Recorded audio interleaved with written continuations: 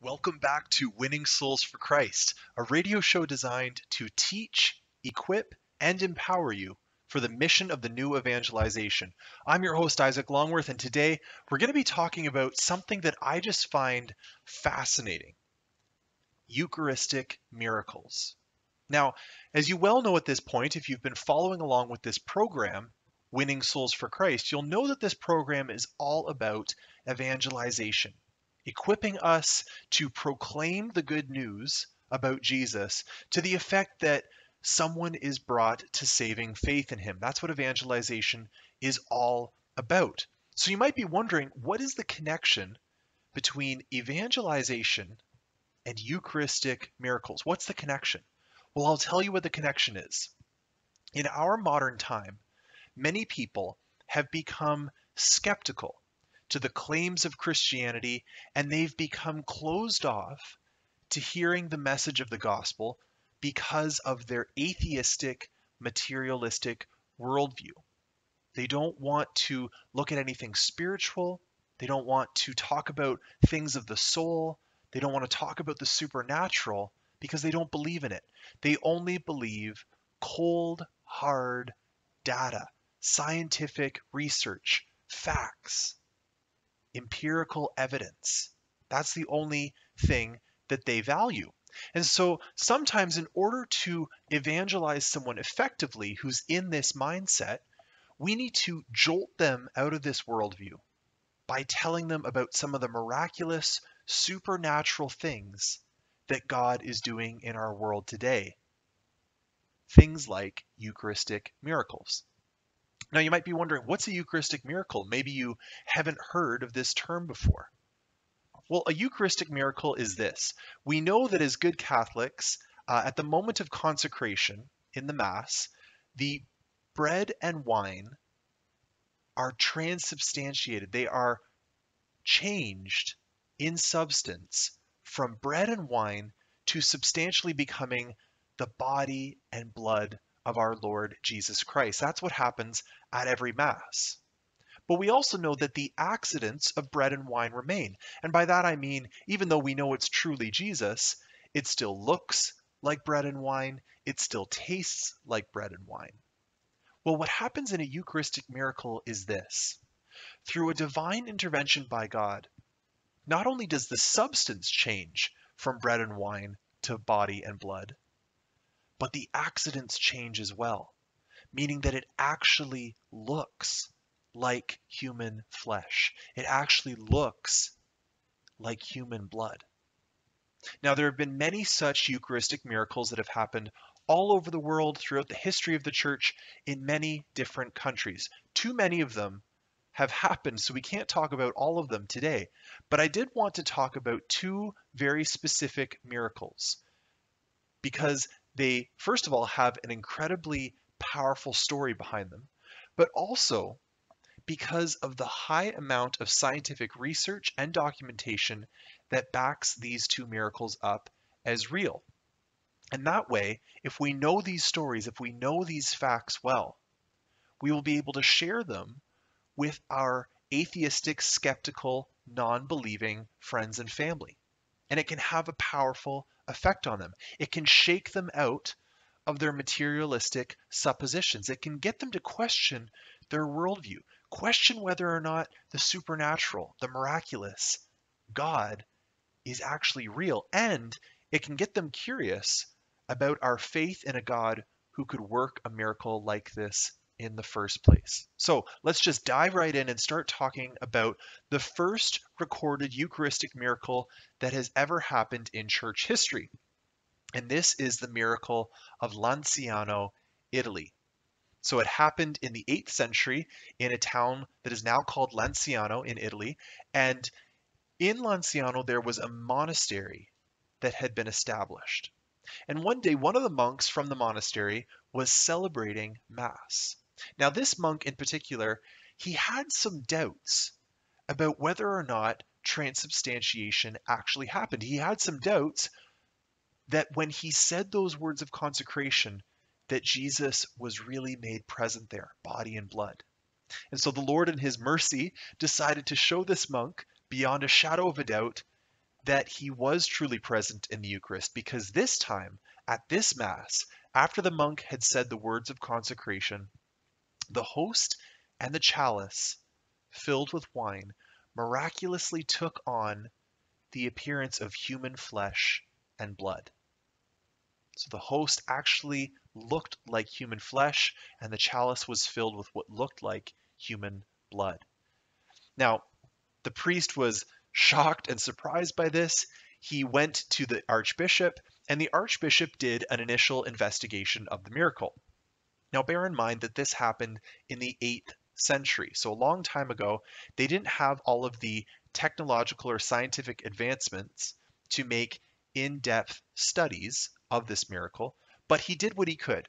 So, this investigation took down the names and the accounts of all the witnesses who had seen the miracle take place. They observed the flesh and they found that it looked the same as it was when it had first been miraculously changed into flesh, but that the blood had dried, had coagulated from its liquid form into five different globules of different sizes. Now, within this miracle, they found a miracle within a miracle because they found that the globules of blood, even though they were different sizes and thus they should be different weights, they all weighed the same. In fact, if you put one globule on the scales, it would weigh the same as if you put all five of them together. So this became known as the miracle of weights. And after the investigation was done, the bishop had the host put back into a reliquary, and it remained in this state until 1574, when a new bishop had more investigations done. So uh, they once again weighed the globules of blood, and they found again that the miracle of weights was still occurring, and that he did this in the presence of witnesses. They also found that even though the chalice and the reliquary had been there for 800 years, there was no visible decay either in the flesh or in the coagulated blood. And so they once again put the flesh back into the reliquary, they put the blood uh, back into the chalice, and it remained there until 1970 when Pope St. Paul VI had another investigation done. This was done by Dr. Eduardo Linoli, so Dr. Linoli was a professor of anatomy and pathological histology. So uh, it's a big scientific jargon there, but basically what Dr. Linoli did was he studied the microscopic anatomy of biological tissues and clinical microscopy. Dr. Linoli was the head physician of the Hospital of Arezzo, and Dr. Linoli was assisted in his study of this miracle by a man named Dr. Ruggero Bertelli. And Dr. Bertelli was a professor of human anatomy at the University of Siena. So these are both very competent scientists, and they did pretty thorough investigations of the miracle. And this is what they found. They found that the flesh tissue had the structure of myocardium, which is the human heart wall. So the flesh wasn't just any flesh, it was flesh found in the human heart wall. And it also was made up of the endocardium, which is the membrane of fibrous elastic tissue that lines the cardiac cavities. So again, another part of the heart, different heart tissue. These have the same appearance as in the human heart. They found that in the miraculous flesh, there was no trace of preservatives that were found either in the flesh or in the blood, which is astounding that they are still in their great condition, considering that this first happened in the 8th century. They also looked at the blood. They looked at it and studied it very closely. They found that it was of human origin. They were even able to find the type. They found that it was type AB. And they found in the clotted blood that the proteins were normally fractioned with the same percentage ratio as those found in the seroproteic makeup of normal fresh human blood. So again, a lot of scientific jargon. I want to break it down for you. Basically, they found that the clotted blood had very similar chemical makeup as normal fresh human blood. And this is astounding because this means that the blood appeared as if it were fresh and not 12,000 years old. So if the blood had been taken from a cadaver, if the blood had been taken from a dead body, it would have deteriorated rapidly. That's just how dead blood works. However, the samples that they studied from the miracle at Lanciano, even though they were centuries old, were free of preservatives and they'd never been sealed in an airtight way. Remember, they were kept in a reliquary, they were kept in a chalice for 12,000 years, not kept in an airtight sealed way. No preservatives, and yet the report found that the samples had the same properties as fresh human blood and flesh, the sacred body and blood of our Lord Jesus. Isn't that incredible? That the Lord would give us this miracle that can be so thoroughly studied in order to prove the reality of who he is.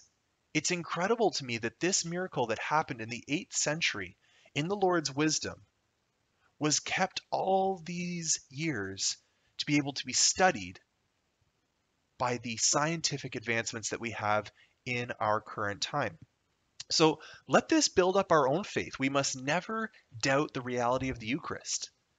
That every time we go to Mass, we receive the body, blood, soul, and divinity of our Lord Jesus, that He is truly present there, even when we can't see Him. But, as I mentioned at the beginning of the show, this isn't the only Eucharistic miracle. There have been hundreds of them all over the world, too many to discuss in one show, but I did want to talk about one more. And this is one of the more recent ones. This one didn't take place in the 8th century. This one took place in 2008 in a place called Sokolka, Poland. So on October 12, 2008, while a priest was giving out communion, he accidentally dropped a host.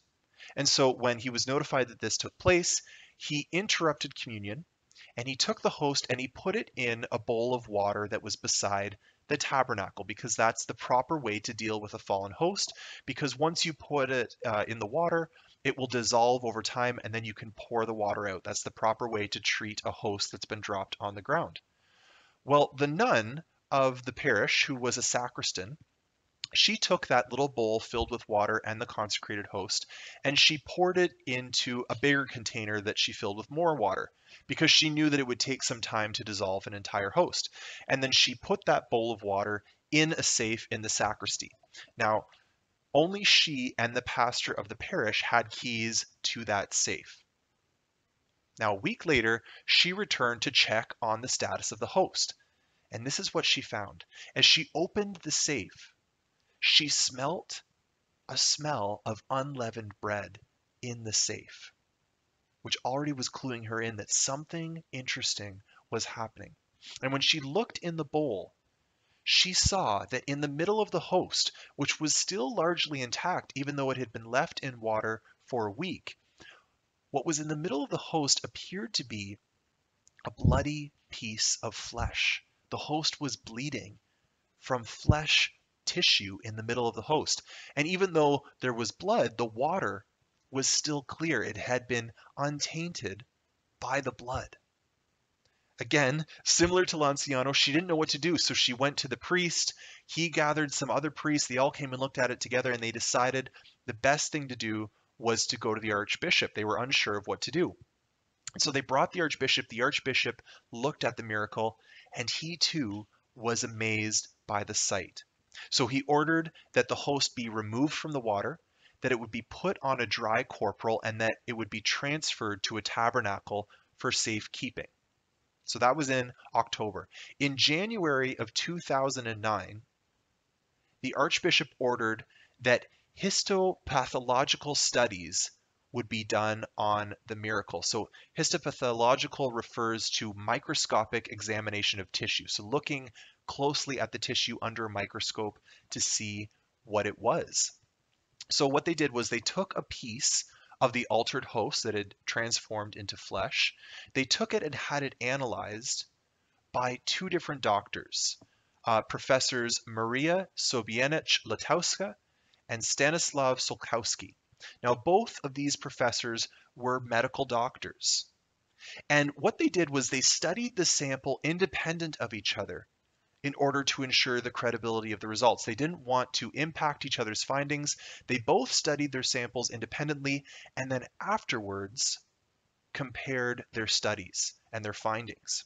And both of them were histopathologists at the Medical University of Bialystok. So again, very competent uh, scientists, competent in their fields, doing intense scientific examination of the miracle to see just what was going on at the level of the tissues themselves. So these two doctors used state of the art light and electron microscopes. And what they did is they photographed, they made detailed descriptions of their findings, they studied it intensely, again, independent of each other, and then brought their reports to the diocese. And this is what they found. They found that the undissolved part of the consecrated host, which was the part that still looked like bread, because remember, not the whole host had transformed into what looked like flesh, it was only a part of it. So the part of the consecrated host that still looked like bread had become embedded in the cloth. However, the red blood clot with the fleshy part was as clear as ever. It had not dissolved into the fabric at all and they found that despite being submerged in water for a long period of time, both when it was in the bowl and also uh, when it had been switched to the other bowl, they found that the fleshly part of the transformed host showed none of the changes that would be expected from being submerged in water, but it was miraculously preserved. There was no water damage to the flesh at all, even though it had been soaking in water for over a week. They also found that the structure of the transformed fleshy portion of the host is identical to the myocardial tissue of a living person who is nearing death. So myocardial again is heart tissue. So just like at Lanciano, this is heart tissue. But in Sokolka, they found that the heart tissue was similar, actually identical to that of a living person who is nearing death. And they were able to see that because there were small cracks called fragmentation that occur in heart muscle when it's at the point of death. And they found these tiny cracks in the tissue of the fleshy part of the miracle that evidence this. Now, this could not have been done by human hands. This is a natural phenomenon that happens in the heart when a person is dying. So, isn't that beautiful that the host transformed into the heart of Jesus as he was dying for us. That's kind of what they walked away from after investigating this miracle. They found that the structure of the heart muscle fibers is deeply intertwined and interpenetrated with that of the bread in a way that is impossible to achieve by merely human means, even with our most modern technologies. So they found that the bread and the flesh were intertwined with each other, that they had become one, that they were fibers, had been interpenetrated with each other, and this was not able to be done with any of our human technology. There was no way this could be achieved. This too was a miraculous thing that they found from their investigation. And in all of this, this led Professor Maria Sobaniec Latowski to say this These are undoubtedly the most important studies I have conducted in my life. The results were shocking to me. They point to an extraordinary phenomenon, which, from a scientific standpoint, is simply inexplicable. This is powerful stuff coming from a professor who is well versed in scientific research, a really smart lady is looking at this miracle saying, science can't explain this. It's an extraordinary phenomenon. It's a miracle. The results have shocked me. Because of all this, the Metropolitan Curia of Bialystok, so this is the church hierarchy in the area, stated this The Sokolka event is not opposed to the faith of the church, rather, it confirms it. The church professes that after the words of consecration, by the power of the Holy Spirit, the bread is transformed into the body of Christ and the wine into his blood. Additionally, this is an invitation for all ministers of the Eucharist to distribute the body of the Lord with faith and care, and for the faithful to receive him with adoration. So, this miracle in Sokolka has been approved by the local diocese. They hold it up as something that is not in opposition to what the church professes, that we truly believe that the Eucharist is the body and blood of our Lord Jesus. And this should remind us to receive him with adoration. To remember that when we consume that Eucharist, we are consuming the Jesus who died for us. But we also need to remember when we're looking at these miracles that they're not just for our own building up of our own faith and devotion to the Eucharist, but they are a tool for evangelization. The Lord, in His mercy, is reaching out to the world with these supernatural signs, with these miracles reaching out to us, imploring us to come to his mercy. He is extending himself out to the skeptical, to the atheist, to the materialist, saying, Come and see the miracles that I work. Come to me and believe. And we need to use that to our advantage when we're evangelizing. When we share the scientific findings of these miracles, it can be a powerful way to shock a non believer out of their worldview long enough to get them to consider the possibility that the Catholic faith just might be true. Now, why am I still speaking hypothetically? You might be listening to me and saying, why wouldn't everyone convert on the spot when faced with these astounding reports and many more like them? Why wouldn't everyone convert on the spot and become Catholic? And this is the mystery and the reality of free will. The reality that people still have a choice to reject Jesus. We can't force them to do it, and we can't convince them merely by intellectual arguments and scientific findings of miracles. If they so desire, they will always be able to try and find another explanation, no matter how desperate it is. Or they could just flat out deny it and mock it. And the reality is, is that some people will do that. But there are others. There are some who are honestly seeking truth. They're honestly looking for truth and goodness and beauty. And especially those who are skeptical of many religious claims, when we share these miracles with them, it could have that effect that it could open the door to them receiving the gospel. So look up the miracles of Lanciano and Sokolka, Poland. See the results. See the testimony of these scientists. Learn the facts and then present them to the friends and family members in your life who are skeptical of Christianity in order to break into them and expose them to the power of our God. Amen. Well, unfortunately, we've reached the end of our time now, but hopefully something in this show has taught, equipped, or empowered you for the mission of the new evangelization so that you can go out and set the world on fire for Jesus.